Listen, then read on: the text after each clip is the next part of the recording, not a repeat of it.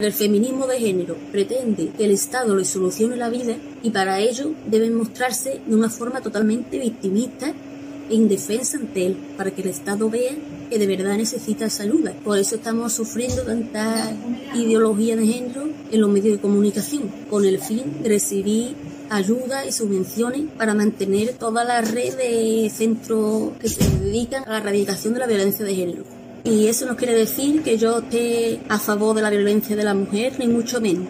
Simplemente que yo abogaría porque se incluyeran tanto a los hombres maltratados como a las mujeres maltratadas. Y no solamente a un sexo, porque se conoce que hay hombres maltratados y asesinados, lo que pasa es que los medios no salen, pero sí existen. Y de hecho en otros países ya están poniendo líneas telefónicas para hombres maltratados y centros, porque cada vez se está viendo que hay más hombres en esta situación. He dicho antes la ley esa de violencia de género que nos favorece a las mujeres. Y también se sabe que las mujeres podemos jubilarnos antes cinco años antes, a pesar de que los hombres mueren antes que nosotras. El feminismo de género ve tanto al hombre como la mujer como seres completos e independientes, cada uno por su lado, y esto me recuerda a los meet porque ellos también piensan lo mismo, que los hombres deben ir por su propio camino. Entonces, el feminismo de género no reconoce la diferencia entre hombre y mujer ellos piensan que nacemos como una tabula rasa y que la sociedad es la que nos va bordeando y nos va construyendo y nos sitúa a las mujeres en una posición permanentemente de víctimas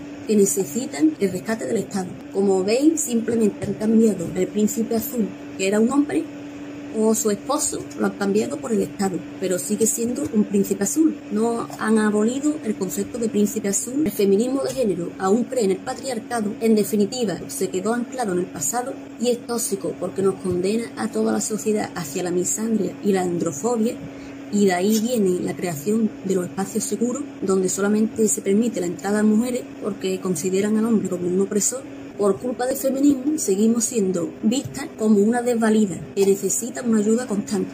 Por eso digo que este feminismo no empodera. Por lo tanto, el feminismo de género desea algo más que la igualdad ante la ley. Y esto solamente pueden ser privilegios estatales y solamente para nosotros las mujeres. Para los hombres no hay ayuda de ningún tipo. A pesar de que los hombres son los que trabajan en los trabajos más duros, más sucios y más extenuantes. Ellos son los que están verdaderamente en la base de la pirámide, no las mujeres.